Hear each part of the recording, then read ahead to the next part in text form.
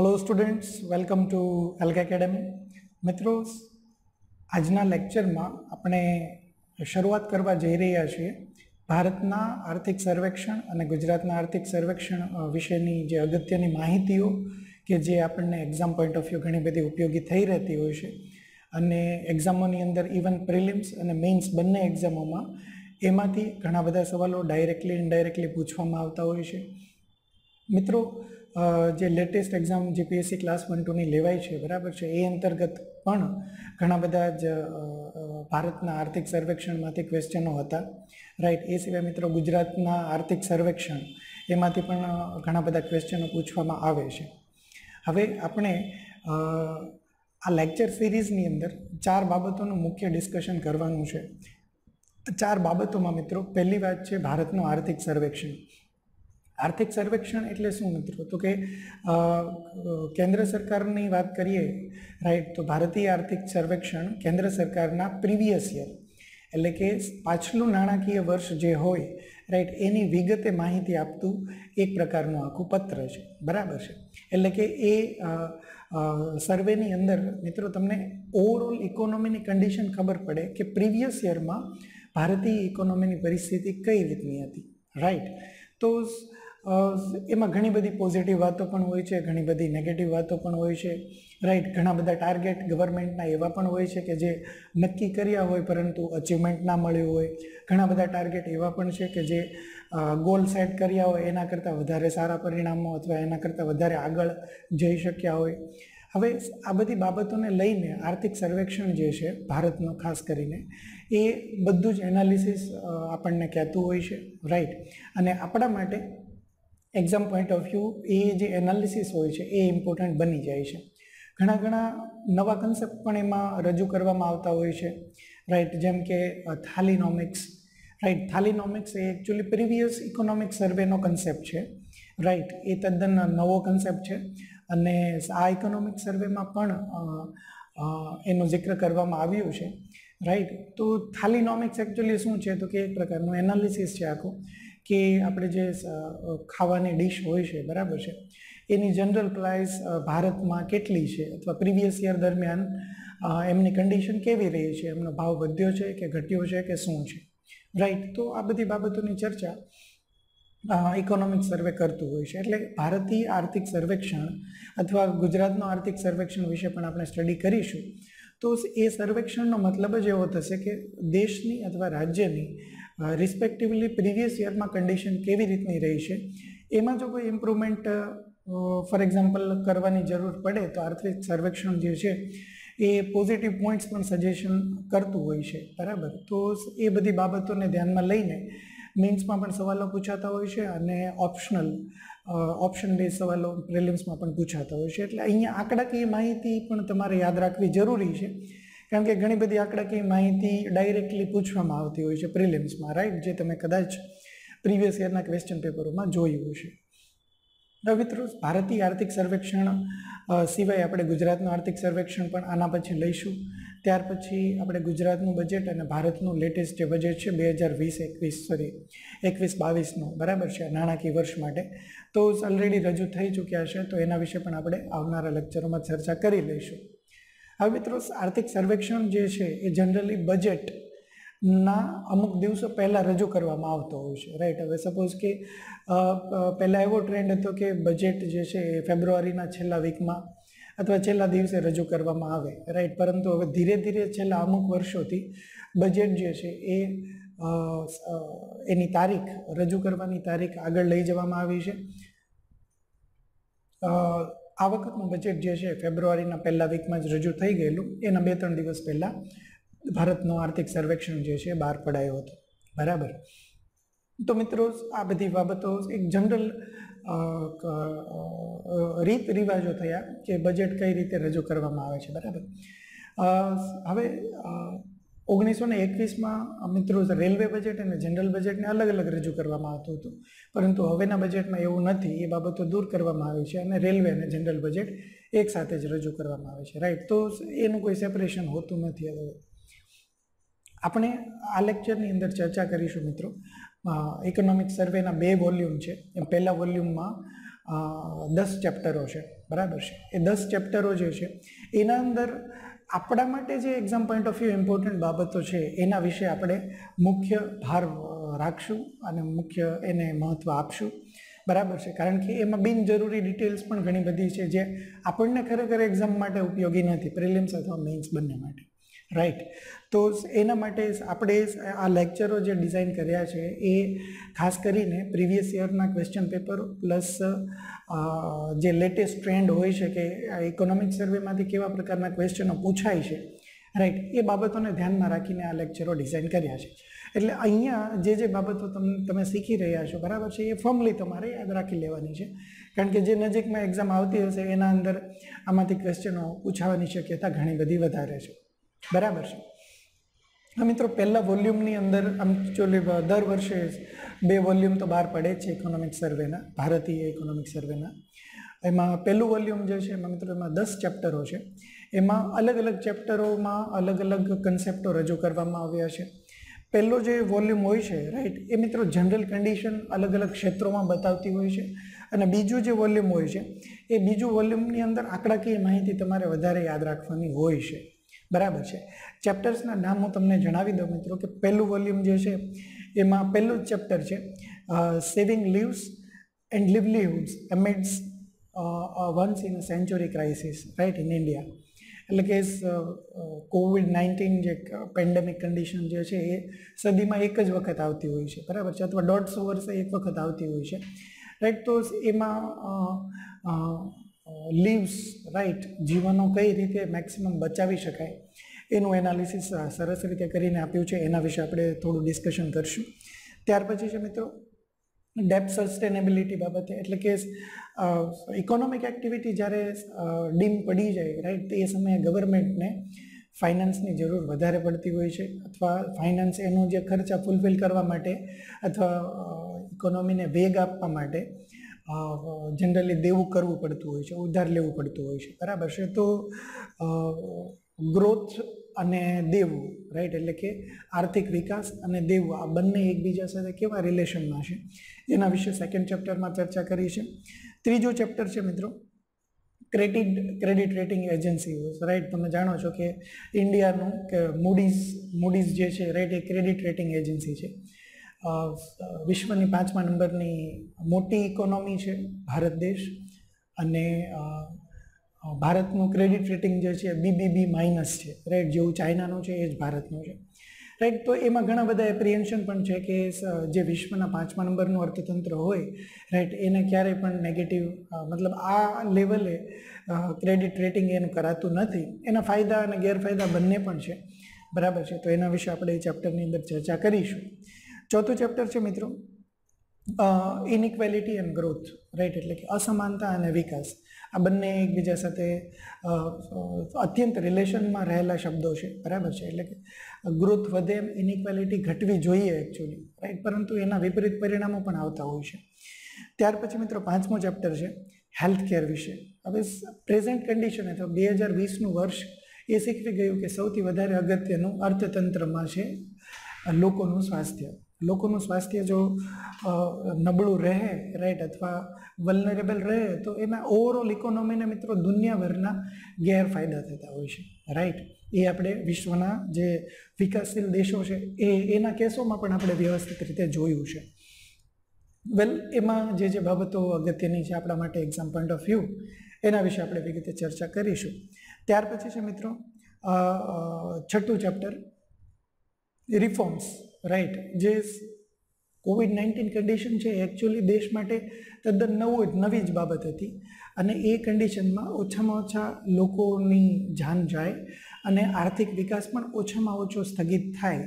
Right તો એ બંને વિશે બેલેન્સ કરીને જે કંઈ ડિસિઝનો અથવા પોલિસીમાં રિફોર્મ્સ કરવાના હોય છે રાઈટ એ સેન્ટ્રલ ગવર્મેન્ટ અને સ્ટેટ ગવર્મેન્ટ છે, સાથે મળીને કર્યા છે.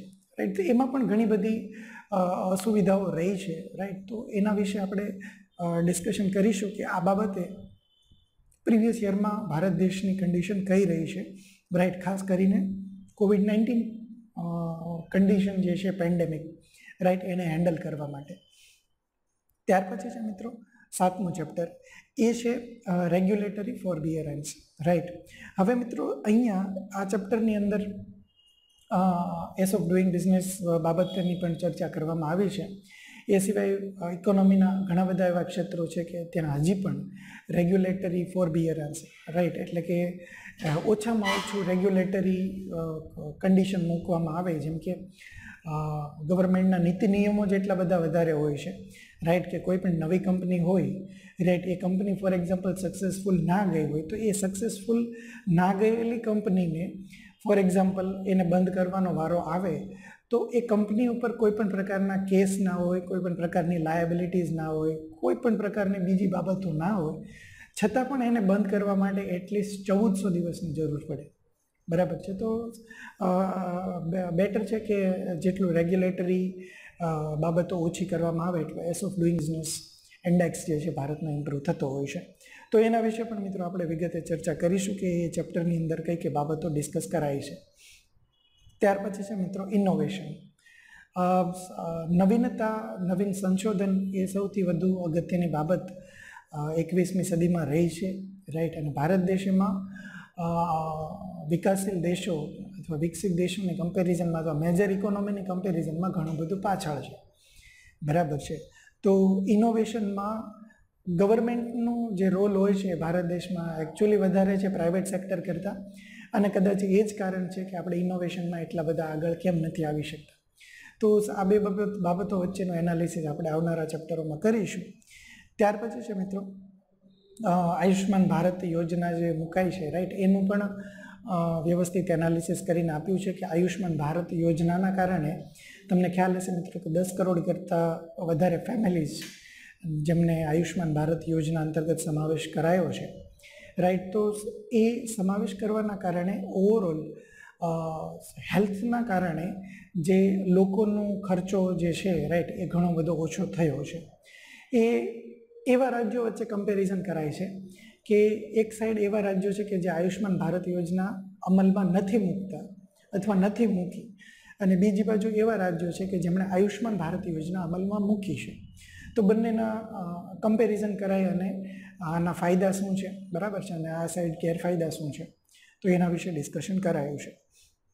અને ત્યાર પછી છે મિત્રો, જીવન જરૂરિયાત જે બાબતો છે રાઈટ એમાં જેમ કે વીજળી છે, પાણી છે સેનિટાઇઝેશન છે રાઈટ સેનિટેશન છે. તો એ બધી બાબતો વિશે આપણે વિગતે એ ચેપ્ટરમાં ચર્ચા કરીશું. તો આ વોલ્યુમ એકની અંદર આ દસ ચેપ્ટરો વિશે ચર્ચા કરાઈ છે. રાઈટ દસ ચેપ્ટરોની અંદર અલગ અલગ ટોપિકો વિશે ચર્ચા કરાઈ છે. ઘણું બધું સરસ એનાલિસિસ છે. આપણે એક્ઝામ પોઈન્ટ ઓફ વ્યૂ જે બાબત ઇમ્પોર્ટન્ટ છે આપણા માટે, એને ધ્યાનમાં લઈને વિગતે ચર્ચા કરવાના છે. વોલ્યુમ ટુ જે છે રાઈટ એમાં મિત્રો પણ દસ ચેપ્ટરો છે. એના અંદર મેં તમને કહ્યું એમ કે state of economy right Bharat દેશની અર્થવ્યવસ્થાની પરિસ્થિતિ ની આંકડાકીય માહિતી અલગ અલગ ક્ષેત્રો માટે આપણને મળતી હોય છે આ વોલ્યુમની અંદર. એમાં પહેલું જ જે ચેપ્ટર છે, જે વોલ્યુમ ટુમાં, એ છે state of economy, right? Micro view અને માઇક્રો વ્યૂ મિત્રો, આમાં ઘણા બધા કન્સેપ્ટ એવા છે જે ઓલરેડી આપણે ઇકોનોમિક્સના લેક્ચરમાં કવર કરી ચૂક્યા છીએ. બરાબર છે? તો એવા કન્સેપ્ટોને હું અહીંયા રિપીટ નહીં કરું, કારણ કે એ ઓલરેડી તમારી પાસે લેક્ચરો છે, રાઈટ? એના વિશે ઓલરેડી તમે શીખી ચૂક્યા છો. બરાબર છે? તો મેક્રો ઇકોનોમિક્સ અને માઇક્રો ઇકોનોમિક્સ રાઈટ આ બંને ઇકોનોમીના કન્સેપ્ટો છે. એમાં મેક્રો ઇકોનોમિક્સ ભારત દેશના અર્થતંત્રને જનરલ જે કન્ડિશન જે રહી છે પ્રીવિયસ યરમાં એના વિશે ડિસ્કશન કરાયું છે. ત્યાર પછી છે મિત્રો રાજકોષીય નીતિઓ વિશે ચર્ચા સેકન્ડ ચેપ્ટરમાં એટલે કે અલગ અલગ પરિસ્થિતિઓ પ્રમાણે અલગ અલગ નિર્ણયો લેવા પડતા હોય છે. જરૂરી નથી કે જે પ્રીવિયસ બજેટમાં જે વાતો આપણે ધારી હોય રાઈટ સરકારે ધારી હોય, એ જ પરફેક્શનમાં રહે.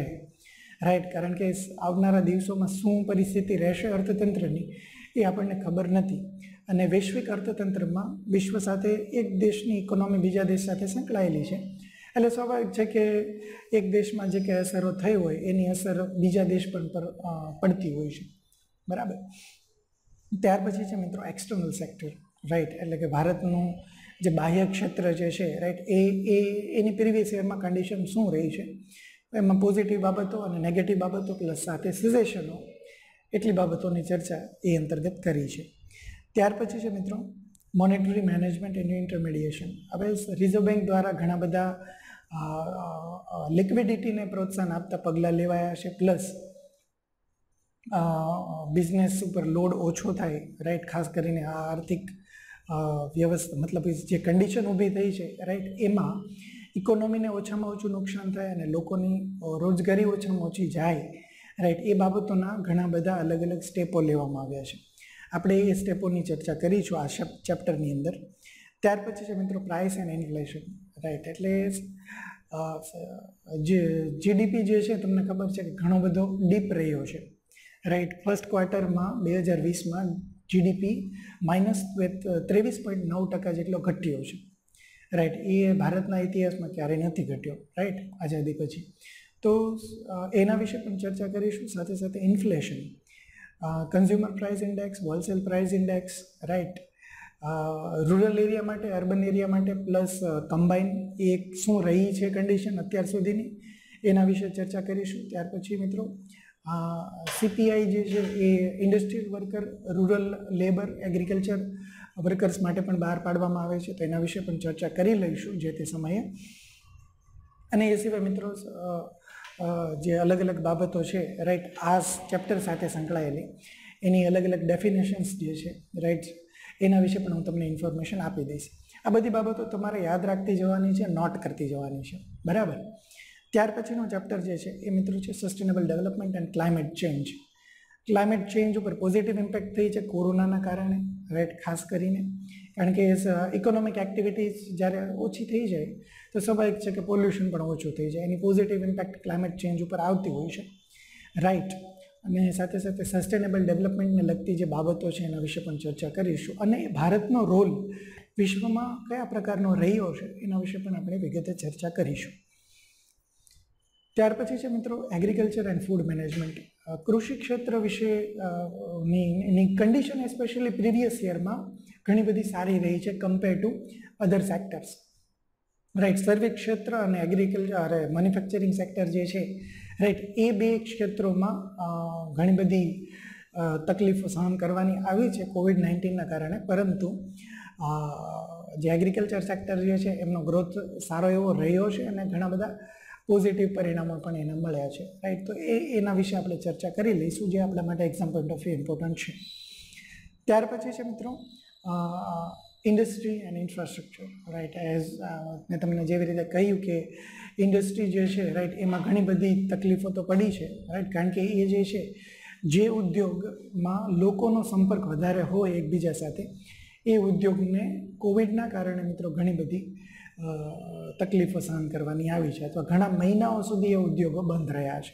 રાઈટ ત્યાર પછી છે મિત્રો સર્વિસ સેક્ટર હા ઓનલાઈન સર્વિસીસ જે છે, જેમ કે એજ્યુકેશન છે રાઈટ તો એવી સર્વિસીસો ચાલુ રહી છે.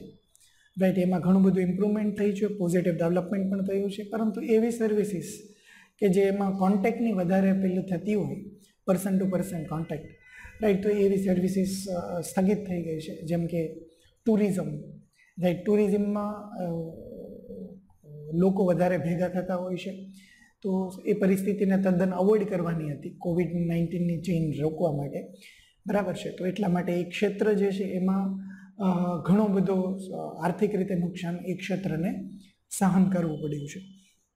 ત્યાર પછી મિત્રો છેલ્લું ચેપ્ટર છે social infrastructure right employment and human development social ઇન્ફ્રાસ્ટ્રક્ચરમાં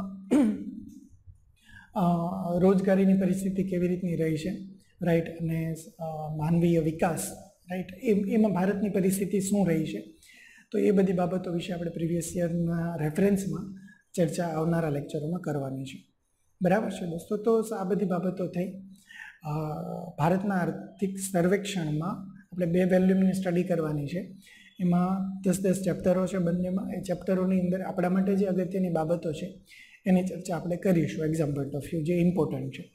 હવે તમારે આ બધી બાબતો આ જે નેક્સ્ટ સ્લાઇડોમાં આવશે બધી બાબતો તમારે લખતી જવાની છે નોટ કરતી જવાની છે. રાઈટ જેથી કરીને એ એ કન્સેપ્ટ વિશે એક્ઝામમાં ફોર એક્ઝામ્પલ પૂછવામાં આવે અથવા કોઈ આંકડાકીય માહિતી પૂછવામાં આવે. રાઈટ તો તમને યાદ રહે.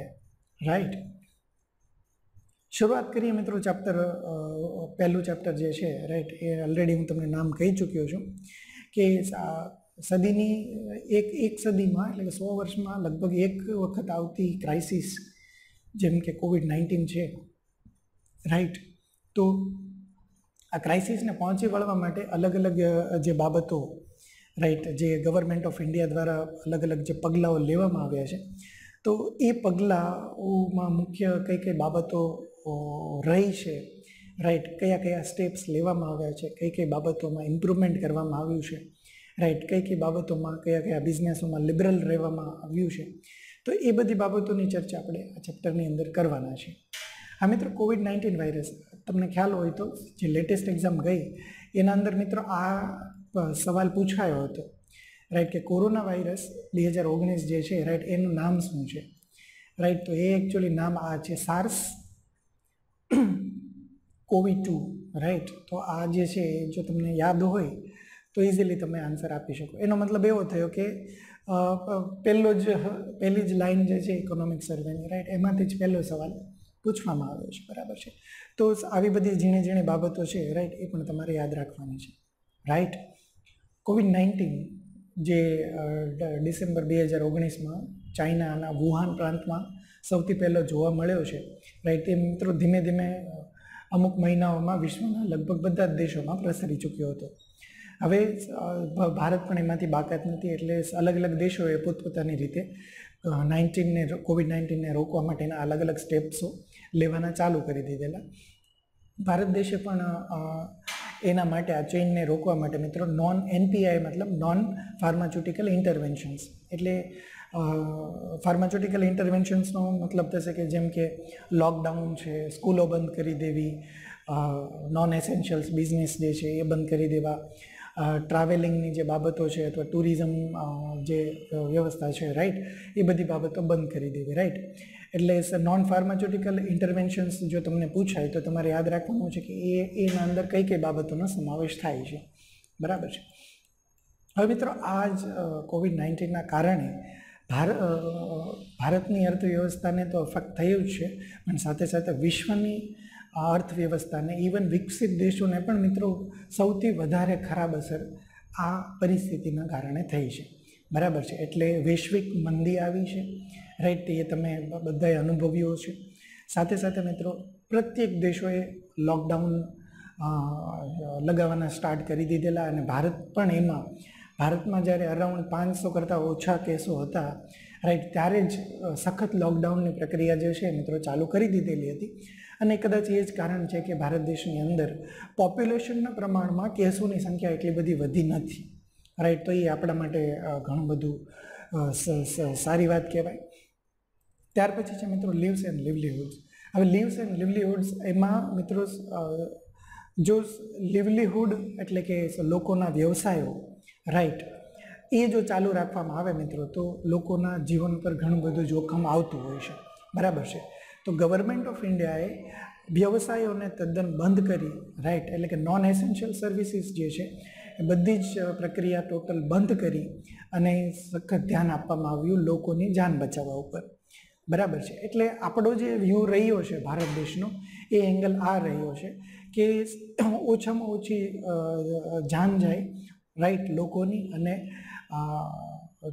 બિઝનેસીસ જે છે નોન એસેન્શિયલ સર્વિસીસ એ બધી જ સદંતર સ્ટોપ કરી દેવામાં આવે. રાઈટ, તો ઘણા મહિનાઓ સુધી મિત્રો, આ બધી બાબતો જે છે, એ અમલમાં રહી છે. એટલે કે માર્ચ મહિનાના બે હજાર વીસમાં છેલ્લા અઠવાડિયામાં આ બધી બાબતો સખત રીતે અમલમાં મૂકી દેવામાં આવી હતી અને ત્યાર પછી જૂન, જુલાઈમાં મિત્રો, ધીમે ધીમે આ બધી લોકડાઉનવાળી બાબતો છે, એ ધીમે ધીમે ઓપન કરવામાં આવે. રાઈટ હવે મિત્રો. હાન્સેન અને સાર્જન્ટ આ બંને નોબેલ પ્રાઇઝ વિજેતા છે. બે હજાર એકમાં એમણે એક પેપર પબ્લિશ કર્યું હતું, કન્સેપ્ટ, અને એ અંતર્ગત પણ કહેવામાં આવ્યું હતું કે ઇકોનોમીને લાંબે ગાળે કઈ બાબત ફાયદો કરાવે? તો કે સખત લોકડાઉનની પ્રક્રિયાના કારણે જે લોકોના જીવન બચે છે, રાઈટ? આ જ બાબત ઇકોનોમીને લાંબે ગાળે ફાયદો કરાવે છે. જો આપણે ઇકોનોમી ઓપન રાખીએ રાઈટ અર્થવ્યવસ્થા જેમ ચાલે છે એમ ચાલવા દઈએ, તો લોકોના જીવન ને જોખમ છે કોવિડ નાઇન્ટીન વાયરસના કારણે અને એના કારણે મિત્રો લાંબા ગાળે ઇકોનોમીને ફાયદો નથી નુકસાન જ છે. હા, ટૂંકા ગાળા માટે અર્થવ્યવસ્થા ચાલુ રાખીએ તો ફાયદો થાય ખરો, પરંતુ એ ટૂંકા ગાળાનો ફાયદો છે, લાંબે ગાળે નુકસાન છે. રાઈટ તો ભારત દેશના અર્થશાસ્ત્રીઓએ પણ આ બાબત સજેસ્ટ કરી છે અને સેમ કેન્દ્ર સરકારે પણ આ કન્સેપ્ટને ધ્યાનમાં રાખીને જે સ્ટ્રિંજન્ટ લોકડાઉન જે છે એ અર્લી સ્ટેજ ઉપર જ લાગુ કરી દેવામાં આવે આવ્યું હતું. બરાબર? એટલે તમારે યાદ રાખવાનું છે હન્સન એન્ડ સાર્જન્ટ રાઈટ બે હજાર એકમાં એમણે જે પેપર પબ્લિશ કર્યું રાઈટ એ જ કન્સેપ્ટને ધ્યાનમાં લઈને ભારત દેશ જ કે કેન્દ્ર સરકારે લોકડાઉનની પ્રક્રિયા જે છે ચાલુ કરી હતી રાઈટ અને અત્યારે ધીમે ધીમે તમે જો, જોઈ રહ્યા છો કે લોકડાઉન જે છે એ ટોટલી પેલું કરી લેવામાં આવ્યું છે રાઈટ નાઇટ કરફ્યુ લાદવામાં આવ્યું છે અમુક સિટીમાં જ અધરવાઇઝ મોટાભાગના સ્ટેટ જે છે, ત્યાં મોટાભાગની વ્યવસ્થાઓ ઓપન છે. હવે ધીમે ધીમે સેકન્ડ વેવ્સ આવે છે રાઈટ એ તમે ન્યૂઝપેપરમાં પણ સાંભળતા હશો રાઈટ તો આવનારી પરિસ્થિતિ જ આપણને કહેશે કે હવે ધીમે ધીમે લોકડાઉન અમુક શહેરોમાં જ્યાં કેસીસ વધી રહ્યા છે, ત્યાં ધીમે ધીમે સ્ટ્રોંગ કરવામાં આવી રહ્યા છે રાઈટ તો મિત્રો, આ પ્રાઇમરી બાબત છે. આમાં જે કન્સેપ્ટ આપ્યા છે એ તમારે સમજી લેવાના છે. કારણ કે એક્ઝામમાં આપણને ઉપયોગી થઈ રહેશે. ઓકે આગળ વધીએ અને ચર્ચા કરીએ મિત્રો. વી શેપ ઇકોનોમિક રિકવરીની બરાબર છે? હવે જેવી રીતે મેં તમને કહ્યું કે વી શેપ ઇકોનોમિક રિકવરી એટલે શું? રાઈટ એ જે ભારત દેશનો જે વ્યૂહાત્મક નીતિ રહી છે કે કોવિડ નાઇન્ટીનને હેન્ડલ કરવાની રાઈટ એ અંતર્ગત સ્ટ્રિન્જન્ટ લોકડાઉન મતલબ સખત લોકડાઉન પ્રાઇમરી સ્ટેજ ઉપર જ લાદી દેવામાં આવ્યું હતું. બરાબર છે? અને એ, એના જ કારણે મિત્રો, જે અર્થવ્યવસ્થાનો ગ્રોથ રાઈટ એટલે કે અર્થવ્યવસ્થા જે દરે ગ્રો કરતી હતી, એના અંદર મિત્રો માઇનસ ત્રેવીસ પોઈન્ટ નવ ટકાનો ઘટાડો થયો છે. બરાબર છે? એટલે તમે જોઈ શકો કે માર્ચ બે હજાર વીસમાં ભારતીય અર્થતંત્ર જે છે એ ત્રણ પોઈન્ટ ઝીરો નવ પર્સન્ટના રેટથી ગ્રો થતું હતું. પરંતુ એ જ સમયે સખત લોકડાઉન લાદવાના કારણે બધી જ મોટાભાગની આર્થિક પ્રવૃત્તિઓ બંધ થઈ ગઈ હતી અને જે ગ્રોથ રેટ જે છે મિત્રો ડાઉન થઈ અને twenty three point nine right અહીંયા જે આંકડો લખ્યો છે, એના કરતાં પણ ઓછો છે twenty four point thirty eight right એટલું બધું ઇકોનોમિક ડિપ્રેશન આવ્યું છે. રાઈટ અને ત્યાર પછી મિત્રો, જૂન મહિનાથી જેવી રીતે ધીમે ધીમે ઇકોનોમી ઓપન કરવામાં આવી, અથવા લોકડાઉન જે છે ધીમે ધીમે સરળ કરવામાં આવ્યું, બરાબર છે? એટલે કે ઉઠાવી લેવામાં આવ્યું. ત્યાર પછી ભારતીય ઇકોનોમી જે છે વિધિન સપ્ટેમ્બર મહિના સુધીમાં મિત્રો, એ જે ઇકોનોમીનો ગ્રોથ જે છે, એ ત્રેવીસ ટકા, ચોવીસ ટકા જે ડીપ થયો હતો, એમાંથી ઘટીને મિત્રો સાત ટકા સુધી જ થઈ ગયો ડાયરેક્ટ રાઈટ એટલે કે અર્થતંત્ર જે છે રાઈટ ઇફ ઝડપથી એની પહેલાંની સ્થિતિએ આવી ગયું અમુક મહિનાઓની અંદર જ. રાઈટ અધરવાઇઝ મિત્રો વીસ વીસ ટકા ત્રીસ ત્રીસ ટકા સુધી ગ્રોથ એકવાર ડાઉન થાય, તો એને હતી ત્યાં મતલબ કે જે પ્રીવિયસ કન્ડિશન હતી, ત્યાં પહોંચતા સુધીમાં લગભગ ત્રણથી ચાર વર્ષ નીકળી જતા હોય છે.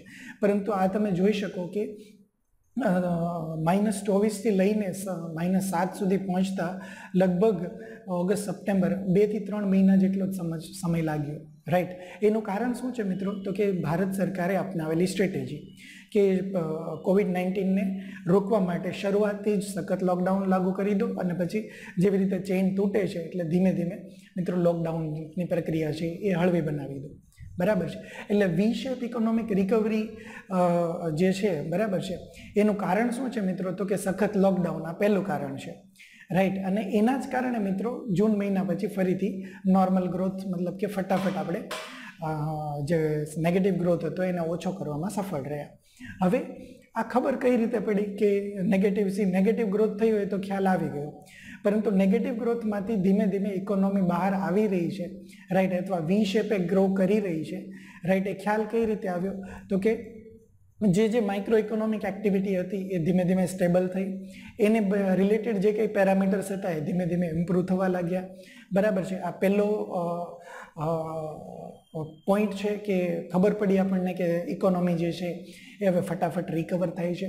બીજો પોઈન્ટ છે મિત્રો કરન્સી સ્ટેબલ છે. કે ભારત દેશની કરન્સી એકચ્યુઅલી ઇકોનોમિક રિકવરી મતલબ કે રિસેશન આવે ત્યારે ઇકોનોમિક જે જે તે દેશની કરન્સી હોય છે એ એનું મૂલ્ય જે છે મિત્રો ઘણા બધા હદે ઘટી જતું હોય છે. રાઈટ પરંતુ ભારત દેશમાં એવું થયું નથી. ભારત દેશની કરન્સી જે છે રાઈટ કમ્પેર ટુ ડોલર એ હંમેશા સ્ટેબલ રહી છે. રાઈટ પ્રીવિયસ યરમાં હા, થોડું ઘણું ફ્લક્ચ્યુએશન એમાં આવ્યું છે, પણ મોટા ભાગે એ સ્ટેબલ રહેશે ત્રીજો પોઈન્ટ છે મિત્રો કરંટ એકાઉન્ટ ડેફિસિટ મેં તમને આપણા પ્રીવિયસ લેક્ચરોની અંદર current account capital account deficit શું છે એના વિશે વિગતે ચર્ચા કરી છે. રાઈટ તો એ વિગતે હું અહીંયા આગળ નહીં જાઉં. પરંતુ કરંટ અકાઉન્ટ ડેફિસિટ જે છે રાઈટ અથવા કરંટ અકાઉન્ટમાં જે કંઈ સુધારાઓ જોવા મળ્યા છે, એના પરથી આપણે અંદાજ લગાવી શકીએ કે ભારતીય અર્થતંત્ર જે છે રાઈટ એમાં વી શેપે ઇકોનોમિક રિકવરી થઈ રહી છે. ત્યાર પછી છે મિત્રો forex reserve actually forex reserve ઘટવું જોઈએ, પરંતુ રિઝર્વ બેંકના જાન્યુઆરી બે હજાર એકવીસના રિપોર્ટ પ્રમાણે ફોરેક્સ રિઝર્વ પ્રીવિયસ યરમાં જે હતું, એના કરતાં પણ મિત્રો વધારે રહ્યું છે. બરાબર છે? એટલે ફોરેક્સ રિઝર્વ વધવું એ પણ વિશેપ ઇકોનોમિક રિકવરીનું એંધાણ છે. અને મેન્યુફેક્ચરિંગ સેક્ટર જે છે, એને, જેને સૌથી વધારે ઇફેક્ટ થઈ હતી રાઈટ એ સેક્ટર એકચ્યુઅલી મિત્રો ધીમે ધીમે ગ્રો કરવા લાગ્યું છે રાઈટ એટલે આપણે કહી શકીએ કે ઇકોનોમિક રિકવરી વી શેપમાં થઈ છે રાઈટ અને વી શેપમાં ઇકોનોમિક રિકવરી ટૂંક સમયની અંદર થવી રાઈટ એ ઘણું બધું પોઝિટિવ બાબત ગણાય છે કોઈ પણ દેશના અર્થતંત્ર માટે. બરાબર છે? તો તમારે ધ્યાનમાં રાખવાનું છે કે અહીંયા ટાઈમલાઈન ઉપર તમે જોઈ શકો કે ડિસેમ્બર બે હજાર ઓગણીસથી સપ્ટેમ્બર બે હજાર વીસ સુધીનો ગ્રોથ રેટ આપ્યો છે. રાઈટ એ ગ્રોથ રેટમાં આપણે જે વી વી શેપની વાત કરીએ છીએ એ આ છે એકચ્યુઅલી રાઈટ આઈ હોપ કે આ કન્સેપ્ટ તમને સમજાયો છે અને આ બધા પેરામીટર્સના કારણે આપણને ખબર પડી કે આ વિશેપે ભારતીય અર્થતંત્ર રિકવર થયું છે. બરાબર છે? તો દોસ્તો, આ કન્સેપ્ટ એક્ઝામની અંદર પૂછાવાની શક્યતા છે એ તમારે યાદ રાખવાનો છે. બરાબર? ત્યાર પછી આગળ વધીએ અને ચર્ચા કરીએ મિત્રો, આત્મનિર્ભર ભારત. હવે મિત્રો, તમને ધ્યાનમાં હશે કે આત્મનિર્ભરતાનો કન્સેપ્ટ કેન્દ્ર સરકાર દ્વારા આપવામાં આવ્યો. બરાબર છે? એ કન્સેપ્ટ જે છે, એ કન્સેપ્ટ એકચ્યુઅલી ખૂબ અગત્યનો છે કારણ કે જેટલું આપણે બીજા દેશો ઉપર ડિપેન્ડ રહીએ રાઈટ એટલો જ અર્થતંત્રને નુકસાન થતું હોય છે. એટલે સેન્ટ્રલ ગવર્મેન્ટે આત્મનિર્ભરતાનો કન્સેપ્ટ રજૂ કર્યો અને આત્મનિર્ભર એટલે બીજા દેશોની ઉપરની ડિપેન્ડન્સી ઘટાડવી રાઈટ, પોતે પોતાની જે કંઈ જરૂરિયાતો જે છે એ જાતે સંતુષ્ટ કરવી, રાઈટ, અને સાથે સાથે એનું એક્સપોર્ટ વધે એવો પણ પ્રયત્ન કરવો. આત્મનિર્ભરતાનો મતલબ મિત્રો વિશ્વના દેશોથી અલગ થઈ જવું એવો બિલકુલ નથી થતો. બરાબર છે? તો ગવર્મેન્ટ ઓફ ઇન્ડિયાએ આત્મનિર્ભર ભારત માટે ઘણા બધા પેકેજો પણ રજૂ કર્યા છે. રાઈટ, એ અંતર્ગત મિત્રો સ્ટાર્ટિંગમાં તો સ્ટિમ્યુલસની જરૂર હતી. અલગ અલગ ક્ષેત્રો માટે. તો પ્રધાનમંત્રી ગરીબ કોલ- કલ્યાણ યોજના અંતર્ગત તમને ખ્યાલ હશે કે એંસી કરોડ કરતાં વધારે લોકોને જે સસ્તા ભાવની અનાજોની દિક્ક દુકાનો જે છે રાઈટ ત્યાંથી રેશન મળી, મળ્યું ઘણા મહિનાઓ સુધી રાઈટ ત્યાર પછી ડાયરેક્ટ બેનિફિટ ટ્રાન્સફર એટલે કે જે વિધવાઓ છે અથવા જે પછાત વર્ગના લોકો છે, આદિવાસીઓ છે રાઈટ પેન્શનરો છે એ લોકોના ખાતામાં સીધા જ પૈસા જમા કરાવ્યા હતા. ગવર્મેન્ટ ઓફ ઇન્ડિયાએ આત્મનિર્ભર ભારત પેકેજ વન અંતર્ગત. એ સિવાય મિત્રો Mahatma Gandhi national rural employment guarantee scheme અંતર્ગત જે મજૂરો કામ કરી રહ્યા છે રાઈટ એ લોકોને પણ એમનું જે જનરલ મહેનતાણું છે પર ડેનું એમાં પણ ઘણો બધો વધારો કરવામાં આવ્યો હતો. ત્યાર પછી છે મિત્રો, દેવું.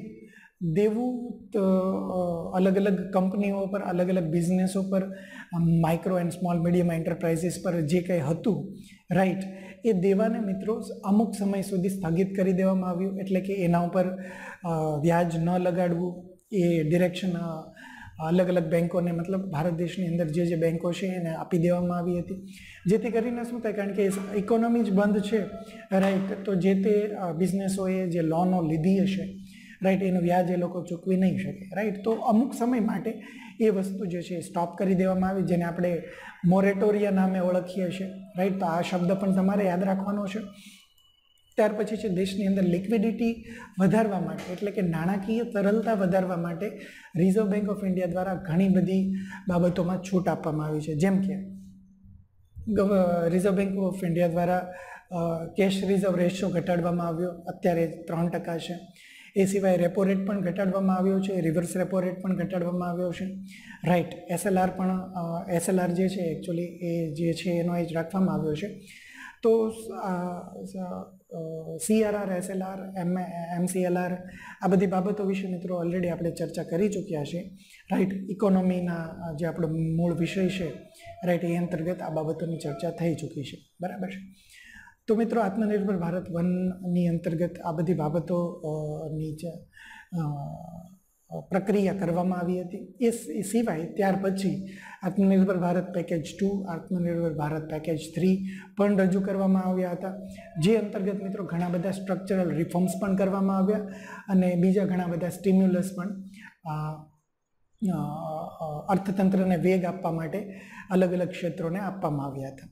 આ મિત્રો એગ્રીકલ્ચર ક્ષેત્ર જે છે રાઈટ એમાં એગ્રીકલ્ચર ક્ષેત્રમાં મિત્રો તમને ખ્યાલ છે કે જે ત્રણ કૃષિ કાયદાઓ સેન્ટ્રલ ગવર્મેન્ટ દ્વારા પાર્લામેન્ટ દ્વારા જે પસાર કરવામાં આવ્યા છે રાઈટ એ ત્રણે ત્રણ કૃષિ કાયદાઓમાં તમને ખ્યાલ છે કે એક તો પહેલો જ કાયદો છે કે જે ખેડૂતોને દેશની કોઈ પણ બજારમાં પોતાનું ઉત્પાદન જે છે વેચવાની મંજૂરી આપે છે. બીજું છે કોઓપરેટિવ ફાર્મિંગને પ્રોત્સાહન આપે છે અને સાથે સાથે પ્રાઇવેટ સેક્ટરને પણ પ્રોત્સાહન આપે છે. બીજો કાયદો જે છે અને ત્રીજો છે, એ છે મિત્રો એસેન્શિયલ કોમોડિટીઝ એક્ટ એમાં સુધારો કરીને જે હોર્ડિંગ્સની પ્રક્રિયા હતી રાઈટ એને લિબરલ કરી દેવામાં આવ્યું છે. રાઈટ એટલે કે કોઈ ફેમિની મતલબ કોઈ દુકાળ ના પડે અથવા બીજી કોઈ એવી એક્સ્ટ્રીમ સિચ્યુએશન જ્યાં સુધી દેશમાં જનરેટ ના થાય રાઈટ ત્યાં સુધી જે જે એસેન્શિયલ કોમોડિટીના સંગ્રહ ઉપર જે કંઈ રોકો લગાવવામાં આવી હતી પ્રિવિયસલી એ બધી જ બાબતોને રિમૂવ કરી દેવામાં આવ્યું છે. અને એના જ કારણે મિત્રો પ્રાઇવેટ સેક્ટરનું પાર્ટિસિપેશન કોલ્ડ સ્ટોરેજ છે રાઈટ પછી સાથે સાથે બીજી જે બાબતો છે રાઈટ એમાં એમને પ્રોત્સાહન મળશે. રાઈટ અને ખાસ કરીને એગ્રીકલ્ચરને અને ખેડૂતોને આ બાબતે ઘણો બધું ફાયદો થશે આવનારા સમયમાં. પરંતુ એ એને લઈને પણ ઘણા બધા વિરોધો થયા છે, આપ સૌ જાણો જ છો. રાઈટ મિત્રો ડિરેગ્યુલેશન અને લિબરલાઇઝેશન ઘણા બધા સેક્ટરોમાં કરવામાં આવ્યું છે, મેં તમને અગાઉ જણાવી ચૂક્યો છું. એમાં એગ્રીકલ્ચર જે છે એ સૌથી પહેલું સેક્ટર છે. ત્યાર પછી છે મિત્રો એમએસએમઈ. એમએસએમઈ એટલે micro micro small and medium enterprises જે છે, એની ડેફિનેશન ચેન્જ કરવામાં આવી હતી. તમને ખ્યાલ હશે મિત્રો કે મેન્યુફેક્ચરિંગ સેક્ટર અને સર્વિસ ક્ષેત્રો માટે માઇક્રો સ્મોલ અને મીડિયમ એન્ટરપ્રાઇઝોની ડેફિનેશન પહેલાં અલગ અલગ હતી. રાઈટ તો એ ડેફિનેશનની વ્યવસ્થા જે છે રાઈટ એ આર્બિટ્રેશન હતું. એક પ્રકારનું એને દૂર કરવામાં આવ્યું અને સાથે સાથે મેન્યુફેક્ચરિંગ ક્ષેત્રમાં કોઈ પણ કંપની હોય અથવા સર્વિસ ક્ષેત્રમાં કોઈ પણ કંપની હોય બંનેને એક કોમન ક્રાઇટેરિયામાં ફિટ કરી દેવામાં આવે. રાઈટ એટલે કે માઇક્રો ઉદ્યોગો કોને કહેવાય? તો કે જે ઉદ્યોગનું ઇન્વેસ્ટમેન્ટ જે છે એ બે કરોડ કરતાં ઓછું હોય અને ટર્નઓવર પાંચ કરોડ કરતાં ઓછું હોય એને માઇક્રો ઉદ્યોગ કહેવાય. રાઈટ જેને આપણે સૂક્ષ્મ કહીએ. રાઈટ એવી જ રીતે મિત્રો નાના ઉદ્યોગો અને મધ્યમ ઉદ્યોગોની પણ ડેફિનેશન આ સુધારા અંતર્ગત સેટ કરવામાં આવી. જેથી કરીને ઘણા બધા ફાયદાઓ થાય રાઈટ ત્યાર પછી છે મિત્રો લેબર જે લેબર લોઝ જે છે એમાં પણ મિત્રો ઘણા બધા લોઝ આશરે છવ્વીસ કે ઓગણત્રીસ લોઝ જે જૂના હતા રાઈટ એને ત્રણ લેબર કોડમાં કન્વર્ટ કરી દેવામાં આવ્યા અને એમાં પણ ઘણો બધા ઘણી બધી સરળતા કરી દેવામાં આવી કંપનીઓ માટે પણ અને લેબરો માટે પણ. રાઈટ, જેથી કરીને આર્થિક એક્ટિવિટીને વેગ મળે. ત્યાર પછી છે મિત્રો business process outsourcing business process આઉટસોર્સિંગમાં મિત્રો પહેલાં જે work from home and work from anywhere right, A concept ન હતા અથવા લિબરલ એટલા બધા ન હતા, રાઈટ, એ કન્સેપ્ટોને મિત્રો ઘણા બધા લિબરલ કરી દેવામાં આવ્યા. જેથી કરીને બિઝનેસ પ્રોસેસ આઉટસોર્સિંગમાં પણ મિત્રો લાખોની સંખ્યામાં લોકો જોડાયેલા છે અને લાખોની સંખ્યામાં લોકોને રોજગારી પણ મળે છે. હવે બીપીઓ સેક્ટર એ જે એવું સેક્ટર છે કે જેમાં પર્સન ટુ પર્સન કોન્ટેક્ટની જરૂર જ નથી. રાઈટ તો એવા ઉદ્યોગને પ્રોત્સાહન આપવાની કોવિડ નાઇન્ટીનમાં સ્પેશિયલી જરૂર હતી કે જ્યાં પર્સન ટુ પર્સન કોન્ટેક્ટ જ નથી. રાઈટ તો બીપીઓ જે સેક્ટર સેક્ટર જે છે રાઈટ બિઝનેસ પ્રોસેસ આઉટસોર્સિંગ એ સૌથી વધુ અગત્યનું રહ્યું છે. ત્યાર પછી મિત્રો પાવર ક્ષેત્રમાં પણ ઘણા બધું લિબરલાઇઝેશન કરવામાં આવ્યું છે. રાઈટ ત્યાર પછી છે મિત્રો public sector undertakings right public sector undertakings જે છે રાઈટ હું તમને ઓલરેડી જણાવી ચૂક્યો છું કે જાહેર ક્ષેત્રના સાહસો જે છે રાઈટ એ જાહેર ક્ષેત્રના સાહસોનો અમુક ટકા હિસ્સો ગવર્મેન્ટ વેચી દેતી હોય છે રાઈટ અથવા અમુક ટકા શેર જે છે એ બીજી કંપનીઓને ટ્રાન્સફર કરી દેતી હોય છે. તો એમાં ડિસઇન્વેસ્ટમેન્ટની પ્રક્રિયા અને પ્રાઇવેટાઇઝેશનની બંનેની પ્રક્રિયા આવી જતી હોય છે. આ બંને શબ્દો શું છે ઓલરેડી આપણે શીખી ચૂક્યા છીએ. ત્યાર પછી છે મિત્રો મિનરલ સેક્ટર મિનરલ સેક્ટર એટલે કે માઇન્સ એન્ડ મિનરલ સેક્ટર્સની અંદર મિત્રો ઘણા બધા અમેન્ડમેન્ટ્સ કરવામાં આવ્યા છે અને બિઝનેસ કરવાની સરળતા મિત્રો ઘણી બધી વધારી દેવામાં આવી છે. બરાબર છે? તો આ બધા સ્ટ્રક્ચરલ રિફોર્મ્સ છે. કયા કયા ક્ષેત્રોમાં કઈ કઈ બાબતો સુધારવામાં આવી છે એની જનરલ મિત્રો અહીંયા માહિતી છે. આ બધી બાબતો તમારે યાદ રાખવાની છે. ત્યાર પછી છે મિત્રો ભારતની પ્રોડક્ટિવ કેપેસિટી જે છે રાઈટ પ્રોડક્શન કેપેસિટી એને સ્ટ્રેન્થન કરવા માટે ઘણી બધી ઘણા બધા અલગ અલગ ક્ષેત્રોની અંદર ઘણી બધી અલગ અલગ બાબતોની સરળતા કરી દેવામાં આવી છે. જેમ કે પહેલું જ જે છે મિત્રો, એ છે ઇન્ડસ્ટ્રી છે. પ્રોડક્શન વધારવા માટે મિત્રો, લગભગ દસ જેટલા ક્ષેત્રોને પ્રોડક્શન લિંક ઇન્સેન્ટિવ્સ રાઈટ એ આપવામાં આવ્યા આપવામાં આવ્યા છે. એટલે કે જે તે ક્ષેત્ર હોય ફોર એક્ઝામ્પલ આ ક્ષેત્રોની અંદર ક્ષેત્રો જેવા કે ફાર્માચ્યુટિકલ્સ છે ટેક્સટાઇલ છે ઓટોમોબાઈલ છે, બરાબર છે battery related chemical battery related બાબતો છે. તો આ બધા ક્ષેત્રો એવા છે કે જે પોતાનું ઉત્પાદન વધારે રાઈટ એનું જનરલ ઉત્પાદન અને એના કરતાં વધારે ઉત્પાદન કરે તો એ વધારાના ઉત્પાદનો ઉપર મિત્રો ગવર્મેન્ટ ઓફ ઇન્ડિયા જે છે, એ ઇન્સેન્ટિવ્સ આપતી હોય છે. રાઈટ એ જનરલ ઇન્સેન્ટિવ્સ અબાઉટ પાંચ ટકાના દરે અપાતું હોય છે. રાઈટ એના પ્રોડક્શનના ખર્ચ પ્રમાણે. તો એ ઇન્સેન્ટિવ્સના કારણે મિત્રો ભારતની પ્રોડક્ટિવ કેપેસિટી જે છે, એ ઘણી બધી આવનારા સમયમાં વધવાની છે. ત્યાર પછી છે મિત્રો સ્પેસ સેક્ટર હવે સ્પેસ સેક્ટર જે છે રાઈટ એમાં તમને તમને ખ્યાલ છે મિત્રો કે ન્યૂ સ્પેસ ઇન્ડિયા લિમિટેડની સ્થાપના કરવામાં આવી છે. અને સાથે સાથે બીજી પણ એક ઇન્સ્પેક્ટ કરીને કંપની છે રાઈટ એની પણ સ્થાપના કરવામાં આવી છે. એનું મૂળ કામ શું છે? તો કે ભારતનું જે અવકાશ ક્ષેત્ર છે રાઈટ જે અત્યારે માત્ર ઇસરોના અંડરમાં છે, એને લિબરલ કરવું. એટલે કે ઇસરોની જે જે ફેસિલિટીઝ છે, જે જે ટેકનોલોજીસ છે રાઈટ ને જે જે મુખ્ય બાબતો છે એ ટ્રાન્સફર કરવી. એટલે કે પ્રાઇવેટ ક્ષેત્રને પણ એમાં પ્રોત્સાહન મળે. એટલે પ્રાઇવેટ લોકો એમાં વધારે ભાગ લેતા થાય, એમાં વધારે રિસર્ચ અને ડેવલપમેન્ટ કરતા થાય.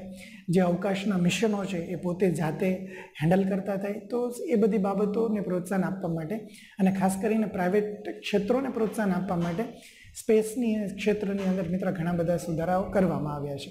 બરાબર છે? ત્યાર પછી છે મિત્રો ડિફેન્સ. ડિફેન્સની અંદર પણ તમે જાણો છો મિત્રો કે જે ફોરેન ડાયરેક્ટ ઇન્વેસ્ટમેન્ટ જે છે રાઈટ એ પહેલાં ઓગણપચાસ ટકા સુધી મર્યાદિત હતું. પરંતુ હવે ડિફેન્સ ક્ષેત્રની અંદર ફોરેન ડાયરેક્ટ ઇન્વેસ્ટમેન્ટ ચુમ્મોતેર ટકા સુધી ઓટોમેટિક રૂટ થકી અલાવ કરવામાં આવ્યું છે. રાઈટ ઓટોમેટિક રૂટ રાઈટ એને લઈને મિત્રો પ્રીવિયસ એક્ઝામમાં જીપીએસસીની એક્ઝામમાં રિસેન્ટ જે ગઈ છે એના અંદર સવાલ પૂછાયો હતો. રાઈટ તો ઓટોમેટિક રૂટ શું છે? પછી ગવર્મેન્ટ થકી જે કંઈ ઇન્વેસ્ટમેન્ટ કરવામાં આવતું હોય છે એફડીઆઈનું એ શું છે? એના વિશે ઓલરેડી આપણે ડિસ્કસ કરી ચૂક્યા છે બરાબર છે?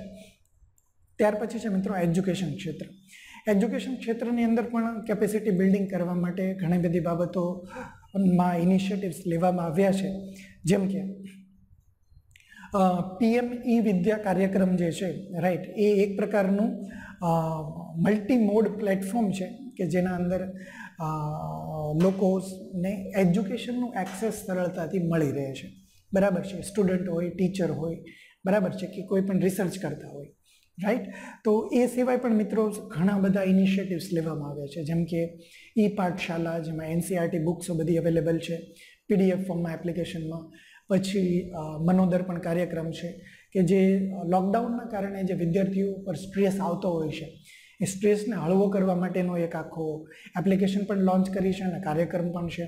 રાઈટ, એ સિવાય સ્ટેટ ગવર્મેન્ટ દ્વારા પણ મિત્રો ઘણી બધી બાબતો જે છે એ એજ્યુકેશન ક્ષેત્રે લેવામાં આવી છે.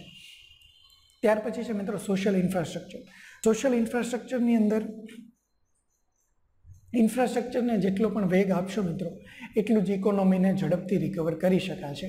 એ ધ્યેય સાથે ગવર્મેન્ટ ઓફ ઇન્ડિયાએ નેશનલ ઇન્ફ્રાસ્ટ્રક્ચર પાઇપલાઇન દ્વારા તથા બીજા ઘણા બધા ઇન્સેન્ટિવ્સ દ્વારા ઇનિશિયેટિવ્સ દ્વારા ઇન્ફ્રાસ્ટ્રક્ચર ક્ષેત્રની અંદર મેક્સિમમ રોકાણ કરવાના પ્રયત્નો કર્યા છે. ત્યાર પછી છે મિત્રો એસ ઓફ ડુઈંગ બિઝનેસ હવે એસ ઓફ ડુઈંગ બિઝનેસ જે છે એ ત્રણ ક્ષેત્રોમાં ખાસ કરીને ભાર મૂકીને કરવામાં આવ્યો છે. એક તો છે ફાઇનાન્શિયલ માર્કેટ્સ બીજું છે મિત્રો કોર્પોરેટ્સ અને ત્રીજું છે મિત્રો એડમિનિસ્ટ્રેશન ફાઇનાન્શિયલ માર્કેટ્સ જે છે રાઈટ એમાં મિત્રો જેટલું બધું જેટલું લિબરલ રહેવામાં આવશે રાઈટ એને જેટલું ઓપન કરવામાં આવશે રાઈટ એટલું જ આપણે બી વેપાર કરવાની સરળતા જે છે ભારત દેશની અંદર વધારી શકીશું. રાઈટ એટલે કે FDI FII external commercial borrowings right અથવા બીજા જે રોકાણો આવતા હોય છે તો એ બધા રોકાણોમાં વધારે સરળતા કરી શકશો. એ સાથે સાથે મિત્રો કોર્પોરેટ્સ રાઈટ કોર્પોરેટ્સ કંપનીઓ, જે મેં તમને કહ્યું કે કોઈ પણ નવી કંપની હોય અને એને બંધ કરવી હોય, તો જે અત્યારે ચૌદસો ઉપરાંત દિવસો ભારત દેશમાં લાગે છે રાઈટ એને પણ ઓછામાં ઓછા ઓછામાં ઓછું મતલબ કઈ રીતે કરી શકાય એના માટે પણ કોર્પોરેટ ક્ષેત્રો માટે કંપની લો ટ્રિબ્યુનલની અલગથી સ્થાપના કરવામાં આવી છે, જેથી કરીને આ જે બાબતો છે એમાં સમય ઘટાડી શકાય અને ease of doing business index જે છે એ ઇમ્પ્રૂવ કરી શકાય. અને ત્યાર પછી છે મિત્રો એડમિનિસ્ટ્રેશન એડમિનિસ્ટ્રેશનમાં તમે જાણો છો કે ગયા વર્ષમાં ગવર્મેન્ટ ઓફ ઇન્ડિયાએ નેશનલ રિક્રુટમેન્ટ એજન્સી ની સ્થાપના કરવાની વાત કરી હતી. એ એજન્સી શું છે? તો કે જે જો અલગ અલગ બોર્ડો અલગ અલગ એક્ઝામો લે છે કોમ્પિટિટિવ એક્ઝામ્સ રાઈટ એ એક કોમન એક્ઝામ એટલે કે common eligibility test national recruitment agency લેવાની છે આ વર્ષથી રાઈટ અને એ સાથે સાથે મિત્રો જે ટેક્સ રિફોર્મ્સ જે છે, જેમ કે face faceless tax assessment right એ સાથે fast track investment clearance right એને લગતા જે કંઈ સુધારાઓ કરવામાં આવ્યા છે તો એ બધી બાબતો એડમિનિસ્ટ્રેટિવ સરળતાઓ કરી આપે છે. એટલે આ ત્રણ બાબતોના કારણે ખાસ કરીને આ, એના કારણે મિત્રો ease of doing business index improve થવાની શક્યતા આપણી ઘણી બધી વધી જાય છે. રાઈટ તો મિત્રો આ બધી બાબતો થઈ. પહેલાં ચેપ્ટરની જે આપણા માટે exam point of view important હતી, એની ચર્ચા આપણે વિગતે કરી. બરાબર છે? એ બધી બાબતો તમારે યાદ રાખતી જવાની છે. હવે ચર્ચા કરીએ મિત્રો. ચેપ્ટર ટુની ચેપ્ટર ટુની અંદર અમુક કન્સેપ્ટ જે છે રાઈટ એ તમારે સમજી લેવાના છે. જેમ કે મેં તમને કહ્યું કે જ્યારે કોઈ પણ દેશનો વિકાસ, આર્થિક વિકાસ ઘટે રાઈટ તો એને વધારવા માટે ગવર્મેન્ટ શું કરતી હોય છે? તો કે બીજા દેશ પાસેથી અથવા ઉદ્યોગપતિઓ પાસેથી લોન લેતી હોય છે, દેવું કરતી હોય છે અને ક્ષેત્રોમાં, વિવિધ ક્ષેત્રોમાં રોકાણ કરતી હોય છે. એટલે કે આર્થિક બાબતોને ધીમે ધીમે વેગ મળે. બરાબર છે. તો શું આર્થિક બાબતોને પ્રોત્સાહન આપવા માટે દેવું કરવું જરૂરી છે? રાઈટ અથવા દેવું વધારવું જરૂરી છે? અથવા દેવું વધારીએ જ જવું જોઈએ? રાઈટ અથવા દેવું હંમેશા વધુ હોય એ આર્થિક બાબતોનો વિકાસ જ દર્શાવે છે. તો આ બધી બાબતોની ચર્ચા ઇકોનોમિક સર્વેમાં આ આ ચેપ્ટરની અંદર કરી છે. આમાં અમુક કન્સેપ્ટ સમજવાના છે. મિત્રો, એ હું તમને સમજાવી દઉં છું. એ તમારે યાદ રાખી લેવાના છે. કોઈ પણ બિઝનેસ સાયકલ હોય રાઈટ એ મિત્રો હંમેશા તેજી અને મંદી આ બે સ્ટેજ એમાં આવ્યા જ કરતા હોય છે. કારણ કે હંમેશા તેજી રહે એવો કોઈ બિઝનેસ છે જ નહીં. બરાબર છે? એટલે ઇકોનોમીમાં પણ હંમેશા તેજી અને મંદી આવ્યા કરતી હોય છે. Gross domestic product Y X axis પર સોરી વાય એક્સિસ પર દર્શાવવામાં આવ્યું છે અને ટાઈમ લાઈન છે એક્સ એક્સિસ પર. બરાબર. તો એ અંતર્ગત તમે અહીંયા જોઈ શકો કે મિત્રો કોઈ પણ બિઝનેસ હોય રાઈટ એ, એનો અમુક પીરિયડ હોય પીક ટાઈમ કે જ્યાં એ ખાસ કરીને જીડીપીની વાત કરીએ મિત્રો, તો બિઝનેસ અથવા અર્થવ્યવસ્થા જ્યારે સૌથી વધારે રેટથી ગ્રો કરતી હોય, ત્યારે એ સમયે દેશનો જીડી પણ જીડીપી પણ સૌથી વધારે નોંધાતો હોય છે. બરાબર છે? અથવા આપણે કહી શકીએ કે જીડીપીનો ગ્રોથ રેટ પણ એ સમયે સૌથી વધારે હોય છે. તો એ સમયે પીક કહેવાય છે. પરંતુ જેમ જેમ જીડીપી ગ્રોથ રેટ ઘટતો જાય છે રાઈટ તો એ પીરિયડને શું કહીએ આપણે? રિસેશન રિસેશન એટલે શું? તો કે આર્થિક જે ગતિવિધિઓ છે એમાં વેગ જે છે એ ઘટ્યો છે રાઈટ એટલે કે એ વેગ કોઈ પણ બે ક્વાર્ટર કરતાં વધારે જળવાઈ રહે રાઈટ ઘટવાનો વેગ બે ક્વાર્ટર કરતાં વધારે પેલો થાય, તો એને આપણે રિસેશન કહેતા હોઈએ છીએ રાઈટ જેનું ગુજરાતી નામ આપણે મંદી તરીકે ઓળખીએ છીએ. બરાબર છે. એટલે રિસેશન જે છે શોર્ટ પીરિયડ માટે હોય છે લોંગ પીરિયડ માટે નથી હોતું. બરાબર. એ જ રીતે મિત્રો રિસેશનનું સૌથી ખરાબ ફોર્મ એટલે કે ડિપ્રેશન ડિપ્રેશનનો મતલબ શું થાય? તો કે આર્થિક ગતિવિધિ અથવા જીડીપીમાં ગ્રોથ રેટ અમુક હદ કરતાં વધારે ઘટી જાય. જેમ કે દસ ટકા કરતાં વધારે જીડીપી ગ્રોથ રેટ ઘટી જાય તો એ રિસેશનમાંથી પછી ડિપ્રેશનમાં કન્વર્ઝન થઈ જાય છે. બરાબર છે. એટલે ડિપ્રેશન જે છે એ મંદીનો જ પ્ર- પ્રકાર છે, પરંતુ મંદીનો સૌથી ખરાબમાં ખરાબ પ્રકાર છે. બરાબર છે. જે સમયે બેરોજગારી, બેરોજગારીનો દર સૌથી વધારે હોય છે, એ જ સમયે મિત્રો જીડીપીનો ગ્રોથ રેટ જે છે સૌથી વધારે ઘટ્યો હોય છે. રાઈટ અને ત્યાર પછી મિત્રો ડિપ્રેશન પછી પણ અમુક સમય ડિપ્રેશનની હાઇટ પહોંચી જાય એને આપણે ટ્રફ કહીએ છીએ. અને ડિપ્રેશન પછીનો જે સમય હોય છે રાઈટ જેને આપણે વી શેપ રિકવરી તરીકે આગળના સ્લાઇડમાં સમજ્યો છે. તો એ રિકવરીનો પીરિયડ હોય છે મિત્રો.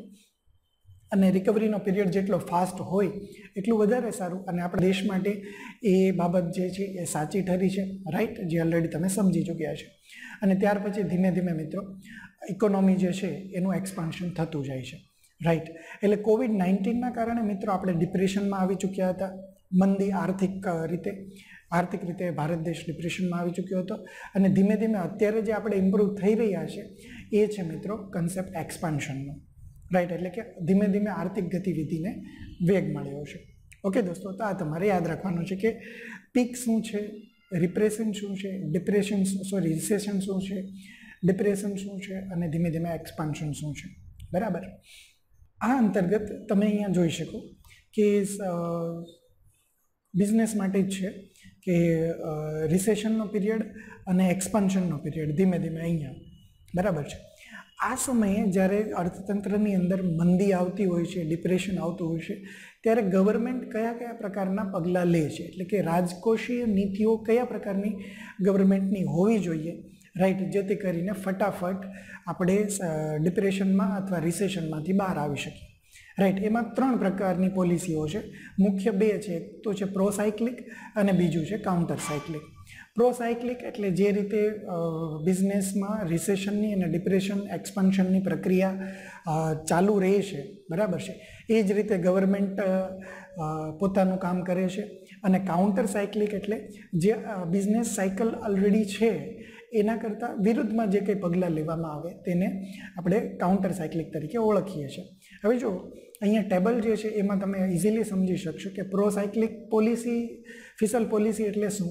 તો કે જ્યારે રિસેશનનો પીરિયડ હોય રાઈટ ત્યારે ગવર્મેન્ટ કોન્ટ્રાક્શનરી રાઈટ એટલે કે ગવર્મેન્ટની સંકુચ, સંકુચિત પોલિસીમાં શું કરવામાં આવે? તો કે ગવર્મેન્ટના ખર્ચાઓ ઘટાડવામાં આવે અથવા ટેક્સ વધારવામાં આવે.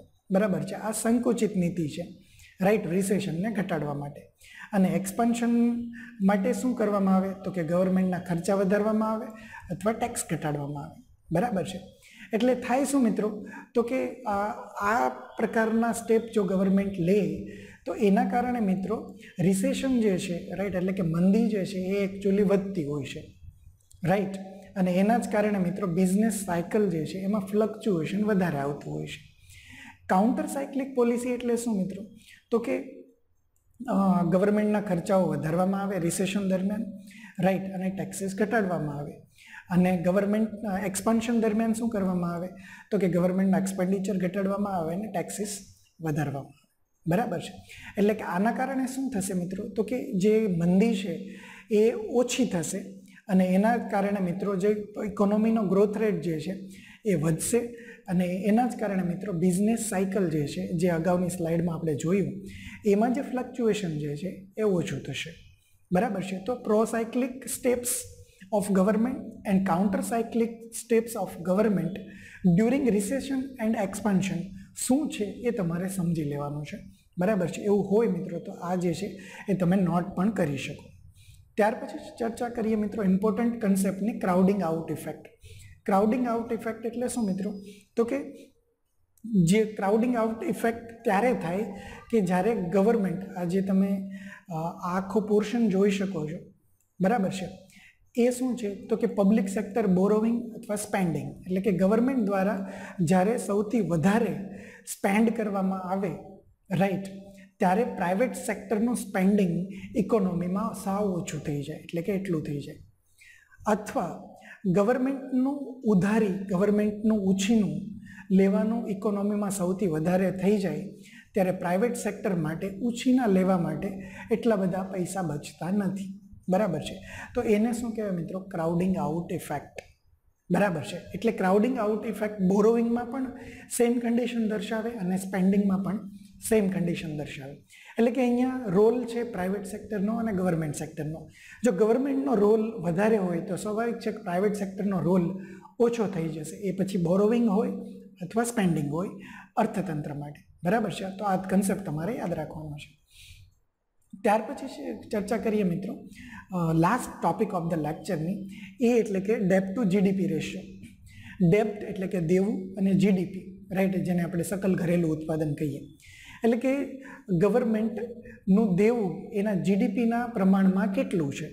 રાઈટ એની ચર્ચા આ ચાર્ટમાં કરી છે. આઈએમએફ દ્વારા બનાવાયેલો આ ચાર્ટ છે, બે હજાર અઢારના ડેટા આપે છે. એમાં તમે જોઈ શકો મિત્રો કે ડેપ ટુ જીડીપી રેશિયો ગવર્મેન્ટનો પણ આપ્યો છે અને પ્રાઇવેટનો પણ આપ્યો છે. બરાબર છે? આપણે વાત કરીએ ભારત દેશની. ગવર્મેન્ટનું ડેપ ટુ જીડીપી રેશિયો જે છે, બે હજાર અઢાર પ્રમાણે એ હતો. અડસઠ ટકા. એટલે ગવર્મેન્ટનું દેવું જીડીપીના અડસઠ ટકા છે. અને પ્રાઇવેટ ક્ષેત્રની વાત કરીએ તો પ્રાઇવેટ ક્ષેત્રનું દેવું જીડીપીના ચોપન ટકા છે. પરંતુ તમે મિત્રો Japan, Canada, France, US, UK આ દેશોમાં જોશો તો પ્રાઇવેટ ક્ષેત્રનું દેવું જે છે રાઈટ એ જીડીપીના વધારે છે. એ એકચ્યુઅલી પોઝિટિવ સાઇન છે. રાઈટ અને ગવર્મેન્ટનું દેવું પણ જે છે, એ પણ વધારે છે કમ્પેર ટુ ઇન્ડિયા એટલે તમે જોઈ શકો કે government debt to GDP ratio જે છે એ ગવર્મેન્ટનો એકચ્યુઅલી ઓછો છે કમ્પેર ટુ અધર કન્ટ્રીઝ છે તો પોઝિટિવમાં જ, પણ ઓછું છે. ટોટલની વાત કરીએ મિત્રો, તો ટોટલ જે છે એ ભારતનું debt to GDP ratio government plus private એ થશે એકસો બાવીસ પોઈન્ટ નવ. અને એવરેજ વાત કરીએ મિત્રો, તો એવરેજ જે અહીંયા કન્ટ્રીઝ આપ્યા છે એના એના નામ પ્રમાણે, તો કે એમનો એવરેજ જે છે એ બસો પાંત્રીસ પોઈન્ટ છન્નું ટકા રાઈટ થશે. પ્રાઇવેટનો અને ગવર્મેન્ટનો એવરેજ જે છે રાઈટ એ તમે અહીંયા જોઈ શકો ડેપ ટુ જીડીપી રેશિયો એટલે ડેપ ટુ જીડીપી રેશિયોનો મતલબ જ એવો થશે મિત્રો કે જો ડેપ ટુ જીડીપી રેશિયો ઓછો હોય રાઈટ તો એનો ડાયરેક્ટ મતલબ એવો થાય કે ગવર્મેન્ટને ઉધારી ચૂકવવા માટે રાઈટ એમની પોતાની ઇકોનોમીમાંથી જ એટલું પ્રોડક્શન થાય છે કે જે એમને બીજા પાસેથી ઉધાર કરવાની જરૂર નથી. બરાબર છે? એટલે એમનું દેવું ચૂકવવા માટે બીજા પાસેથી ઉધાર કરવાની જરૂર નથી. રાઈટ એટલે ડેપ ટુ જીડીપી રેશિયો ઓછો હોય તો કોઈપણ ઇકોનોમી જે છે એ સેલ્ફ ડિપેન્ડન્ટ છે એમ કહી શકાય. રાઈટ પરંતુ ઇકોનોમીને ગ્રો કરવા માટે મિત્રો દેવું કરવું જ પડતું હોય છે. બરાબર છે? એટલા જ માટે આ જે આંકડાઓ છે એ તમે જોઈ શકો. ઇવન વિકાસશીલ દેશો માટે પણ. ત્યાર પછી મિત્રો એક કન્સેપ્ટ છે અગત્યનો wealth effect wealth effect concept જે છે એ ઇકોનોમિક સર્વેમાં ચેપ્ટર ટુની અંદર સમજાવવામાં આવ્યો છે. એ શું છે એ જણાવી દઉં તમને. તો કે વેલ્થ ઇફેક્ટ એટલે કે જ્યારે લોકોના લોકોના એસેટ્સની વેલ્યુ રાઈટ એટલે કે લોકોની જે કંઈ સ્થિર સંપત્તિ હોય રાઈટ શેર્સ હોય બોન્ડ્સ હોય અથવા એમના મકાન હોય રાઈટ લોકોના એસેટ્સની વેલ્યુ જ્યારે વધતી હોય છે, ત્યારે લોકો વધારે સ્પેન્ડ કરતા હોય છે, એટલે કે ખર્ચો કરતા હોય છે. બરાબર છે? કેમ? કારણ કે લોકો પોતાની એસેટ્સ પ્રત્યે સિક્યોર થઈ જાય છે ફાઇનાન્શિયલ એસેટ્સ પ્રત્યે. એટલે સ્વાભાવિક છે કે જ્યારે ઇકોનોમી ગ્રોથ કરતી હોય, ત્યારે લોકોની એસેટ્સની શેરોસ શેર્સના મૂલ્યોની વેલ્યુ પણ વધતી હોય છે. અને એ જ સમયે મિત્રો લોકો વધારે સ્પેન્ડ કરતા હોય છે. રાઈટ અને લોકો સ્પેન્ડ વધારે કરે એ ઇકોનોમી માટે પોઝિટિવ સાઇન છે એકચ્યુઅલી બરાબર છે? એટલે આ કન્સેપ્ટ જે છે એને ઓવરઓલ વેલ્થ ઇફેક્ટ કહેવાય છે. તો એ તમારે યાદ રાખવાનો છે. બરાબર છે? તો દોસ્તો, આ બધી વાતો થઈ આજના લેક્ચરની જે અંતર્ગત આપણે ઇકોનોમિક સર્વેના ચેપ્ટર વન એન્ડ ટુ ની અંદર જે જે exam point of view important બાબતો હતી, એની આપણે ચર્ચા કરી છે. રાઈટ આવનારા લેક્ચરમાં આગળની જે બાબતો છે એને આપણે કન્ટિન્યુઅસ કરીશું. Thank you very much.